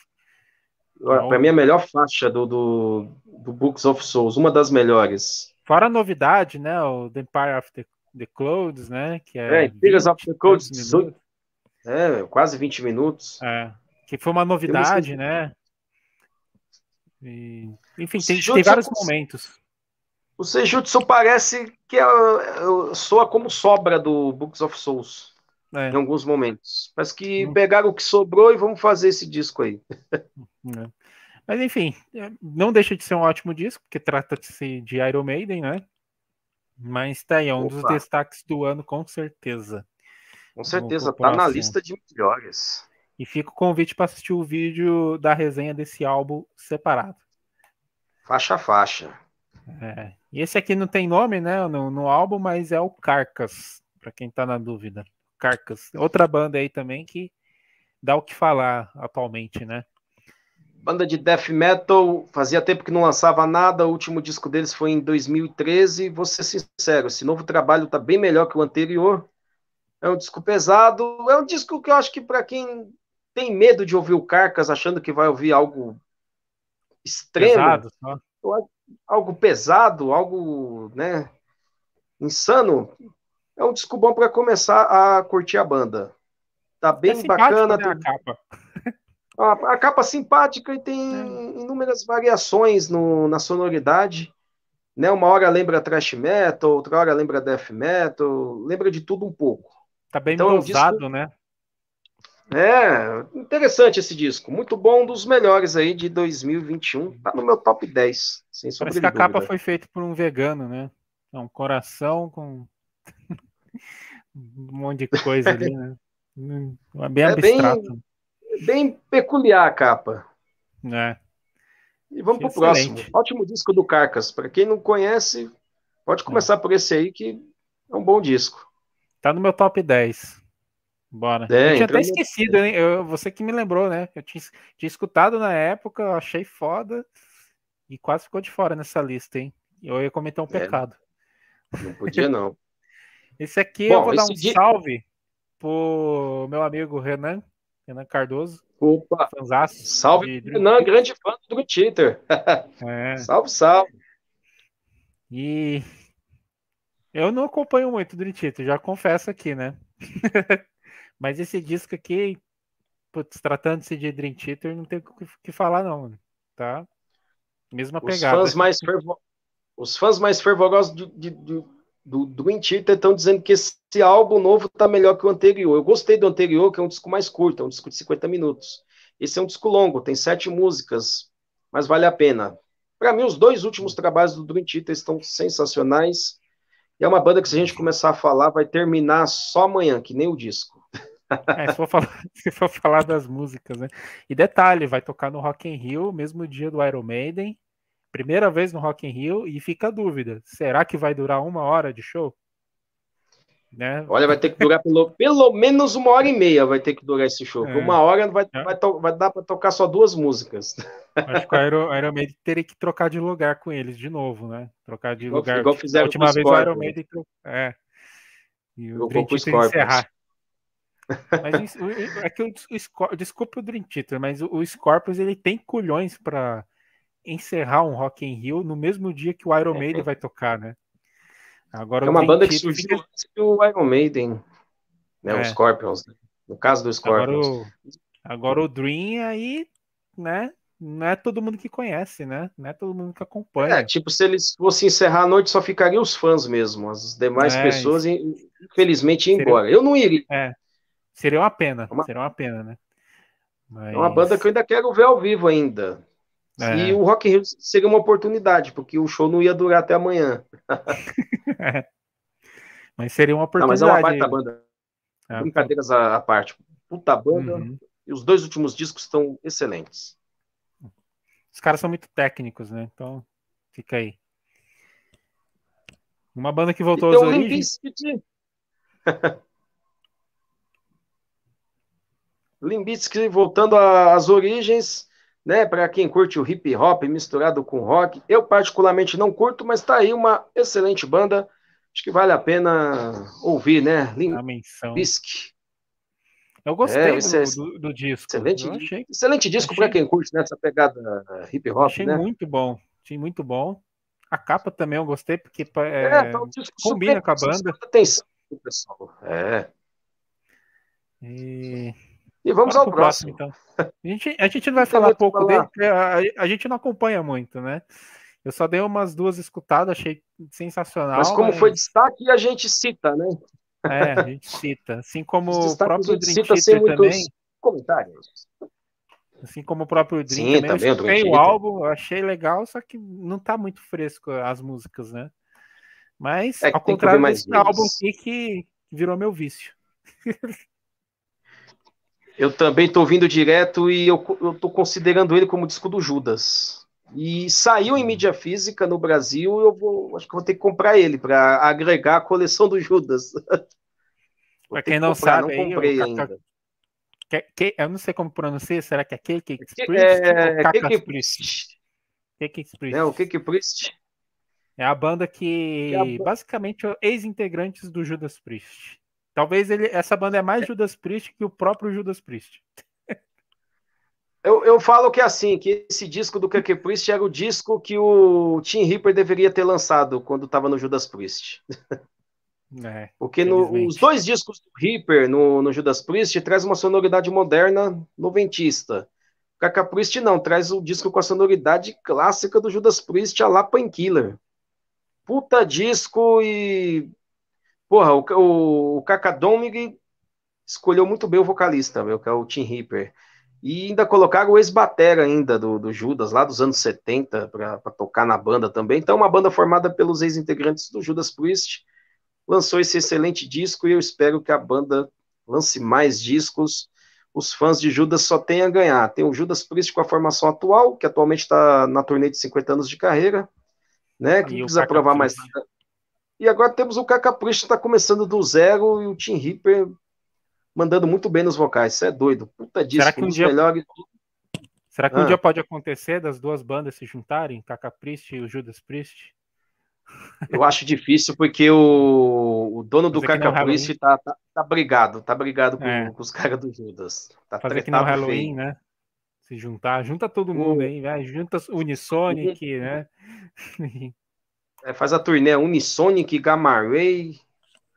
E temos aí o Axie Alexandria, né? Já vamos pular para esse disco aí. Eu, particularmente, não sou um grande fã, é aquela banda que traz sonoridade moderna, mistura de vocais. Mas temos que citar esse disco, essa banda, porque quem é fã, gosta, curte, né? E vai colocar lá no seu top 10, no seu top 5. E é isso. É, eu, eu, lembro que em 2012, 2013, chegou uma época que tinha muita gente andando com camiseta com essa banda. Falei, cara, que porra é essa? Muito mesmo. tinha muito. Hoje em dia já pararam, né? Mas tá aí uma é, banda. Deu uma sumida, que, que nem as camisas do, do Slipknot deram uma sumida. Deram, deram. É, é, que conforme foi passando os anos, né? E a adolescência da pessoa, né? Então. Mas fica aí a menção, né? Essa que é a menção. É uma banda que vale a pena escutar, viu? Pelo menos para você conhecer e para identificar se vai querer acompanhar ou não a banda. É, Show? realmente. E Opa. voltando lá no começo do vídeo, a gente falou de Acept, o nosso querido Udo, eu não vou falar o sobrenome dele que eu esqueci, lançou um disco longo Opa. e tá aí. Vamos lá, é Udo Dick Schneider. Eu demorei 10 anos é. para decorar esse sobrenome. Dick Schneider. Quero ver você escreveu alemão, o sobrenome não... dele. Não, escrever não, não, não dá, mas o nome dele é o Udo Dick Schneider. É... Atualmente, na, nessa banda solo dele, o baterista é o filho dele, né? Dick Schneider também. e o que temos aqui nesse disco é um disco longo, são 17 faixas na versão japonesa, a versão nacional está com 16 faixas. O disco saiu nacional pela Barral, né? Tá disponível aí para quem quiser comprar. E esse disco traz uma mistura de daquela sonoridade clássica da carreira solo dele, mesclando com a sonoridade do Acept. Esse disco ele não traz nada de novo, mas muita gente que pegou, ouviu, curtiu, tá vendendo bem esse disco eu, particularmente, acompanho e curto a carreira solo do, do Udo e curto também a carreira atual do Acept com o Marco Tornelo. Nós, fãs de Acept, só tivemos a ganhar com o Udo em carreira solo e o Acept com o Marco Tornelo nos vocais. Sensacional. Claro, esse disco do Udo tá tão bom quanto o do Acept. Eu não consigo falar para vocês qual é o melhor dos dois discos. Para mim, tá, só tá longo, pau, né? Tá... É. O único defeito é que tá longo, é, mas é. não pela durabilidade das músicas, pelo excesso de músicas, né? São 17 músicas na versão japonesa. É muita coisa. Sim. Poderia guardar algumas para o próximo lançamento, né? Então, poderia ter guardado sete músicas, faria um disco só de 10, ficava sete pro próximo. É. Tá aqui uma banda que me surpreendeu, viu? O Lucifer. Olha, eu vou te, eu vou te falar, o Lucifer, O Lucifer é o Black Sabbath da era moderna com vocal feminino. Sem mais. E é uma banda que está tendo um grande destaque aqui no Brasil. Se eu não me engano, acho que é o, acho que é o quarto álbum de estúdio. É e se quarto, você gostou desse, se você gostou desse disco, vai atrás do, dos outros, que a sonoridade é a mesma. Parece o Black Sabbath do início de carreira, parece o Black Sabbath do, do primeiro álbum. Sensacional na, o Lucifer. Aqui na capa é não é a vocalista. Medo, é a vocalista. Não tenha medo da, da vocalista, nem da capa nem do nome da banda. Porque não é uma banda de black metal, não é uma banda de death metal, é uma banda estilo Black Sabbath. Estilo Black Sabbath da fase Ozzy década de 70, estilo Black é, Sabbath dos primórdios. Quando eu vi, eu conheci a banda vendo o clipe, e eu pensava que era um clipe lá das antigas, década de 80, década de 70, mas não, né? É uma banda, banda nova, nova, né? E o clipe eh, foi, eu vou colocar aqui um trechinho só para só para não não tomar strike também, né? E é, só tá pode 5 segundos. é. E parece, né? Olha só, filmado. Parece que foi filmado na década de 70. O visual dela. É, é o Black Sabbath com vocal feminino. Sensacional, Sensacional. a banda. Eu só coloquei aqui para incentivar o pessoal a realmente escutar essa banda. E para não reclamar Vão que não tem banda nova. Lucifer. É. Banda nova, vocal feminino, estilo Black, estilo Black Sabbath. Se você é fã do Black Sabbath, fase Ozzy, os primórdios, vai, vai atrás do Lucifer. Puta banda, Bom puta demais. disco, tá no meu top 10. E esse aqui tá no meu top 5. Vamos pro próximo. Né? Olha, né? também, indo pro próximo. também tá no meu top 5, é o Persona Não Grata, título em espanhol. Dando pra água Iron Maiden, vinho, né? né? O Iron Maiden, o Iron Maiden lançou um disco com título em japonês, o Exodus lançando um disco com o nome em espanhol, né? É o Persona Não Grata é, trash metal de primeira, disco pesado, disco muito bom. Me, melhor que o anterior, muito melhor. A banda está Bem. excelente, está mais afiada do que nunca. E temos o vocal do Pato Roco, né? O Pato Donald do thrash metal, Steven Zetro Souza, né? É o Udo do, do Êxodos. É, é o Dave Mustaine do Êxodos. Não, puta é, disco, é puta sonoridade, muito bem. Virou estamos meu... chegando ao final já do, do né, do, do, do vídeo, né? Já estamos né, dos discos. Esse saiu já em novembro, né? Esse disco. Esse é o 27, falta três, falta quatro, né? Falta é... quatro discos para a gente finalizar. Esse tá no meu top 5 já. Eu acho que o meu top 5 já passou de 5, mas tudo bem. Episode pro... of Fire. Episode of Fire. Aqui... Não é tem, uma das não, não é com... versões né, do, do Rhapsody, né? Rhapsody é. Truly, Rhapsody com Leone, Rhapsody on Fire. Esse é sem com o Leone, Bom, né? O Leone. Esse, esse, não tem o Leone, né? É, com outro vocalista. É uma pena. Não. Esse, esse não, uma pena. Mas é aquele disco Power Metal, para quem curte os anteriores ou os últimos dessa formação sem o Leone, é o mais do mesmo aí. Né? Eu, particularmente, não acho nem ruim nem bom mas vale a pena ser citada. É uma banda que merece ser citada, tem ótimos discos em sua discografia. E, e, esse disco ele é uma antologia, né? Não sei se você viu as capas e os lançamentos dos singles e do próprio EP, né? É baseado nesse herói aqui, ó, que tá na capa, né? Lançamento do disco, esse herói tá meio que morrendo, né? Só que nas outras capas, ele tá indo pra guerra, ele tá pegando a espada. É bem interessante esse. As, ca tá, as tá capas do episódio são as capas do episódio são sensacionais, vale a pena observar todas obra. elas. O disco não é tão bom, mas a capa é, é, é ótima. É, partiu pro próximo? Vamos pro próximo. Esse aqui eu não conheço, você que falou aqui em última hora. Então eu Vamos lá. mãos aí. Spectra é uma banda nacional, banda brasileira de hard rock. Isso mesmo, hard rock anos 80, Spectra, com sonoridade anos 80, é uma banda que está lançando o seu primeiro trabalho de estúdio. E temos os back vocais do Jeff Scott Soto, lá do VET. E os músicos do Spectra são, né, já foram, né, são a banda de apoio da carreira solo do Jeff Scott Soto.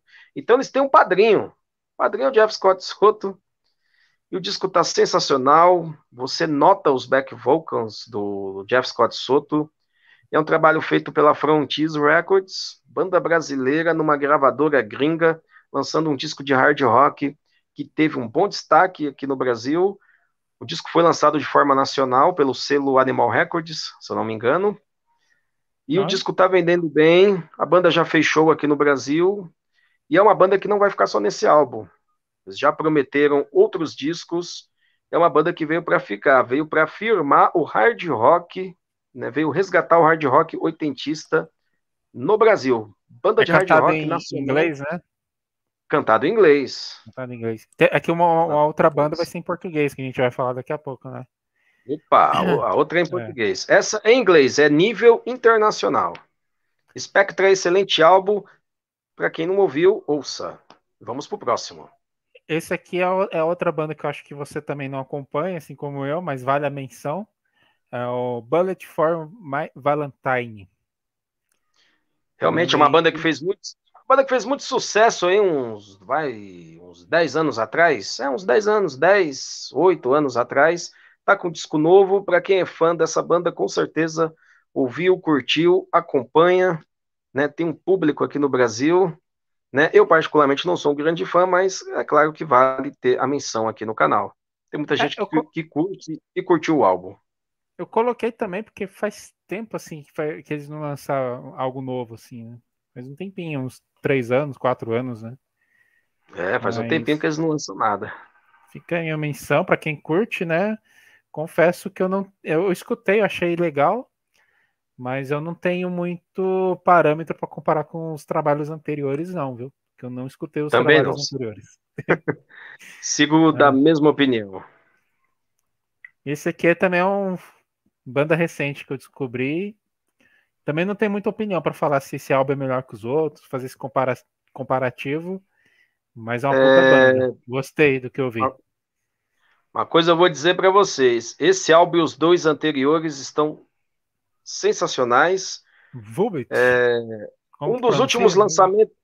Vubilt, um dos últimos Vubit. lançamentos de 2021 e tá fechando o ano com chave de ouro. Excelente disco. O Vubilt é aquela banda. Se você gostar de um álbum, você vai gostar dos demais. Ele tem uma sonoridade. Eu gosto bastante do vocal, que ele é um vocal leve, calmo. E uma curiosidade: o vocalista do Vubilt, antes de fundar o Vubilt, ele fazia parte de uma banda de death black metal. Cantava death metal. Ele tentou a carreira na, no death metal, no black metal não deu certo, aí ele resolveu fundar o Vubilt e trazer essa sonoridade aí mais escutável, mais audível. É uma banda que já está estourada na Europa. Lá na Europa, nos principais festivais, o Vubilt é considerado banda principal, né? É banda headline e co-headline. E agora eles estão tentando atingir o mercado americano com esse novo disco. Né? Um tá disco que já está tendo. Talvez tá seguindo lá nos Estados Unidos e eles vão fazer uma turnê conjunta com o Ghost, que o Ghost já é uma banda estourada lá nos Estados Unidos. E o Vubilt tem público aqui no Brasil, inclusive, eles vieram uma vez para o Brasil, só que eles tocaram no Lollapalooza, né? Hum. Tocou no festival errado. eles já vieram ao Brasil, tocou 40 minutos no Lollapalooza, cara. Ali no, no é autódromo. Pena.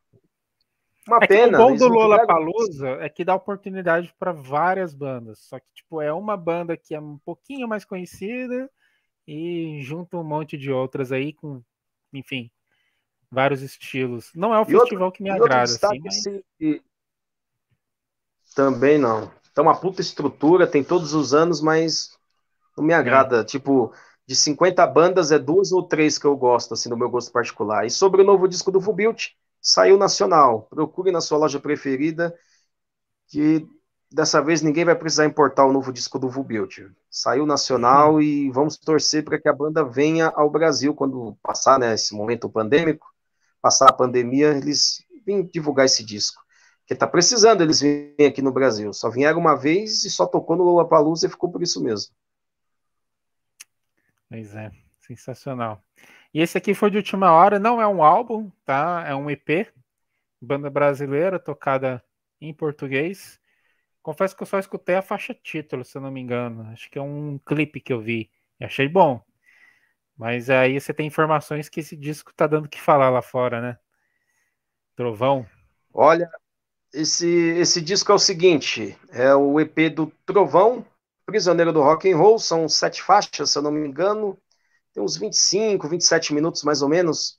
E é algo surpreendente. Para quem curte hard rock oitentista, é um hard rock farofa mesmo só que cantado em português. O Trovão faz um resgate daquelas bandas de, de metal nacional cantado em português, tipo Centúria, Salário Mínimo, só que com uma pegada mais hard. Então tem um teclado bem vibrante, com bastante destaque. E é uma banda que a Classic Metal, que é um selo, um excelente selo, que vem lançando discos ali voltado à década de 80, né? A Classic Metal resolveu investir 500 cópias deste EP, e essas 500 cópias esgotou em menos de dois meses. E no ano que vem a Classic Metal vai prensar novamente mais algumas cópias deste EP, inclusive vai prensar cópias lá na Europa, porque este EP já conseguiu atingir o mercado europeu, já tem gente interessado em trazer o EP, lançar este EP lá fora. Agora imagina, meus amigos, hard rock oitentista, hard rock farofa cantado no nosso idioma, cantado em português, os gringos tendo interesse numa banda Isso. que canta hard rock em português. E as letras são sensacionais. É aquele, é aquele, tipo de som. Você vai pegar da primeira e última faixa do EP, tem o EP completo no, no YouTube, para quem quiser escutar. Da primeira e última faixa, você entende claramente o que o cara está cantando. Você sabe o que ele está cantando do começo ao fim. É tipo então, é um dos grandes do destaques Super, né? de 2021. Isso, cantado em português. Só que o Trovão é. não, é uma, não é uma banda de sátira. Uma banda é. mesmo séria. Séria. Ou não, né? Enfim, né? Um, um hard rock farofa, cantado ver, em né? português. Eu sei que o vocalista, o vocalista do, do Trovão é o mesmo do Selvageria. Né? O Selvageria fazia, fazia trash cantado em português. Aí agora esse vocalista do que era do Selvageria faz o hard rock cantado em português. Excelente vocal, Selvageria é bom e o Trovão é bom também. E é isso. Então, galera, é isso. É... Isso aqui foi só alguns destaques que a gente Opa. falou, né? A gente falou só de alguns é, detalhamos, mas lembrando novamente, se quiser, se sentiu falta de algum disco, se quiser ver mais detalhes, fica aí a dica para assistir os lançamentos de cada mês separadamente, beleza? Agora eu fiz aqui para vocês um vídeo. É, a gente não vai citar todas as pessoas que faleceram, infelizmente, nesse ano, né? É, um, é uma tradição de qualquer retrospectiva relembrar, né? as pessoas que se foram, né, nesse ano complicado. Eu separei um vídeo estilo Oscar, né? Só vou exibir a foto, quando que a pessoa faleceu. E se eu esqueci de alguém, peço mil perdões, né? Mas que vale aqui a intenção, né? E é isso. Fica aí, a gente volta já já.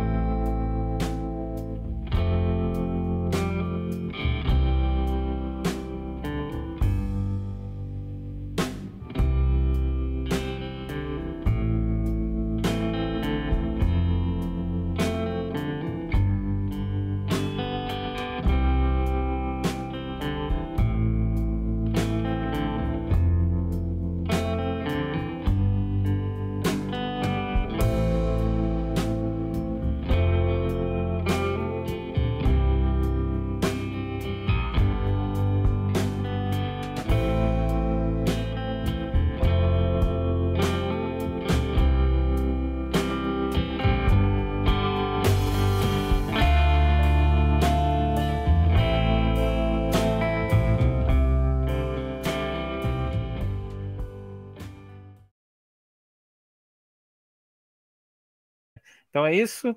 É... E, aí, e, aí, Douglas, você...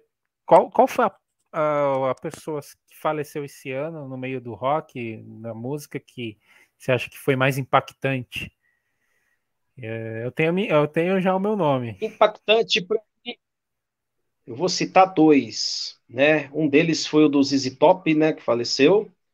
Esse e o Charles White do, do Rolling Stones.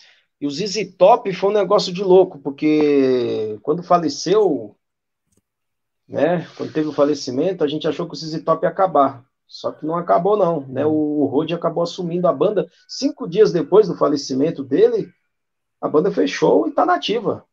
E é. tem um detalhe: o ZZ Top vai lançar, vai lançar um novo disco que já havia sido feito pelo integrante que faleceu. Ele chegou a gravar esse, esse próximo disco do ZZ Top, que deve sair ano que vem. Muitos fãs Isso. criticam, mas eu acho que foi o desejo da, dele, né? Talvez o desejo dele foi esse, da banda não acabar. O desejo né? de continuidade. É, tá, tá certo, tem que continuar. igual os Rolling Stones. É, o Rolling Stones. O, o triste é ver o pedestal, né, do, dele, assim, sozinho, só com chapéu, né? Mas enfim. Só com chapéu, é, é complicado, é. mas Infelizmente, ele ficou doente, a idade chegou, ZZ Top é uma banda de 50 anos de carreira, vai continuar, só que com o Rod assumindo a posição que era uhum. dele. Então, a banda, eu creio que vai lançar né, mais um disco, talvez mais uma turnê, para homenagear né, esse grande integrante que partiu. Talvez depois a banda deve se aposentar, sim, por já ter alcançado 50 anos de carreira. Foi que nem os Rolling Stones. O Rolling Stones já está seguindo em frente, sem o Batera, que faleceu, eles estão usando o, per, o, percussionista, né? O cara da percussão assumiu a batera. É estranho, é estranho, né? Você é, vê outro estranho. cara ali na bateria. É. O outro... já fez show já depois do, do, falecimento do Charles. E infelizmente são as duas perdas assim, né, irreparáveis. É, não vai ter peça de reposição. E um outro falecimento que eu quero citar é do ex-vocalista do Wyra Hip, atual Lucifer's Friends, John Linton. Uhum. Esse cara cantava muito, ele né? Podemos dizer que ele né? é o é o segundo melhor vocalista que passou pelo Wyra Hip, né? Ele foi o segundo vocalista. O primeiro é o David, David Byron, o segundo foi, foi ele, né? O Wyra Hip, se eu não me engano, acho que teve cinco ou seis vocalistas no, no decorrer da carreira. É, e esse segundo vocalista e tem, tem, e tem uma coisa, né? É, antes da pandemia, o Lucifer's Friends estava para vir para o Brasil fazer show. O Lucifer's Friends viria pela primeira vez ao Brasil. E por conta da pandemia, não rolou essa turnê. E agora não vai rolar mais, porque sem ele, o Lucifer's Friends também não vai, não vai continuar. É triste. E é ah, isso, outro, foram os três falecimentos outro... complicados. É, outro nome é o George Ortson, né? Do ex baterista do Slipknot. O cara morreu o muito Slipknot jovem, também. Acho, 46, acho que foi 46 ou 47 anos. Foi uma comoção enorme também, Só né? Eu senti também. Eu também senti um puta batera. Fazia e faz falta no Slipknot. É estranho você ver um show do Slipknot atual e não ver ele lá na, na, na batera. É. Ele veio ao Brasil pela última vez abrindo show para o Megadeth, com uma banda. Qual a última banda que ele, que ele formou? A banda dele, não vou né? lembrar o nome. É, também não. Uma banda dele. E foi, foi a última vez que ele veio para o Brasil. Não faz tanto tempo assim, não sei se foi há quatro cinco anos atrás, uma coisa assim. Só que ele já sofreu de uma doença e essa doença se agravou e infelizmente ele acabou falecendo. Todo mundo sentiu, né, pela, pela perda dele, porque ele era um puta batera e muito jovem. Assim como outras perdas. Mas enfim, é isso. É... O que, que a gente espera para o ano 2022, né? Vai, vai a volta dos festivais. E acho que ano que, ano a que vem a gente vai falar só de festival, né? Esse ano foi dos lançamentos. Ano que vem eu tô a volta dos prevendo a volta dos festival. A, a volta dos festivais, a volta dos shows e uma porrada de lançamentos. Ó, vou citar alguns. Vai, vai, ter novo disco do Saxon, vai ter novo disco do Exo de Fio, como sempre, vai ter o um novo disco do Scorpions, e por aí vai. Metallica, talvez? Não, acho que Metallica não, né? Metallica não, não sabemos. Mas é. não vai. Vai ter uma porrada de lançamentos. E para finalizar o vídeo, vou citar mais alguns lançamentos que não foram citados aí, que é o caso do Joey Bonamassa com Times Clock, puta disco. Teve o novo do Lords of Black, que vale destaque. Teve o novo do Hammer King, que é uma banda alemã estilo Hammerfall. Né? É, esses foram só alguns Boa. dos lançamentos que ficaram de fora, que eu estou lembrando agora e que merece menção e citação, e é isso. É isso. É, agradeço aí pela sua disponibilidade, né? A gente está batendo aí quase uma hora e quarenta de vídeo. claro que eu vou fazer uma edição é, aí, o vídeo ficou uma, uma hora e meia. Bacana. É, ficou. Isso e é mesmo. É isso, espero, espero que todo mundo aí tenha um ótimo 2022, né? Já 2022. E esse ano foi complicado para mim, tanto pro canal, né? Mas fico feliz que a gente conseguiu aí lançar vídeos com uma certa frequência, digamos, né? E feliz ano novo aí para todo mundo. Deixa a sua palavra, a sua última palavra ser a sua, Douglas. Exatamente. Pode falar o que quiser. E é isso. Eu quero, eu quero agradecer a todos que acompanharam o canal Vlog Rock, que acompanharam o quadro Descomentando, Descomentando lançamentos, Descomentando discos. E para 2022, temos a pretensão de continuar, pelo menos com o Descomentando Lançamentos, trazendo lança, os lançamentos mensais, igual fizemos no ano de 2021, né? Despertando o lado curioso dos inscritos. Uhum. E aquilo que eu falo, venha fazer parte dos 27 mil inscritos que o canal Vlog Rock possui. Vamos apoiar, vamos curtir, vamos comentar. E é claro, vamos interagir. E vamos compartilhar com todo mundo aí, porque o Vlog Rock o vlog, o vlog rock é mais uma opção de rock metal no seu YouTube. E eu já desejo a todos, né, um feliz Natal, um feliz Ano Novo, boas festas. E 2022 está aí, vai ter muita coisa bacana para rolar aí no decorrer de 2022 no canal. Agradeço aí a todos que acompanharam o canal e 2022 vamos continuar na ativa aí, firme e forte. Uma vez agradeço aí pela oportunidade, tamo junto. É isso aí. É nóis. Valeu, Valeu obrigado. obrigado e até a próxima.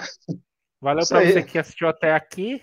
Se inscreva no canal, compartilhe, comente. Muito obrigado, feliz ano novo. E missão cumprida. Falou! Até a próxima, valeu.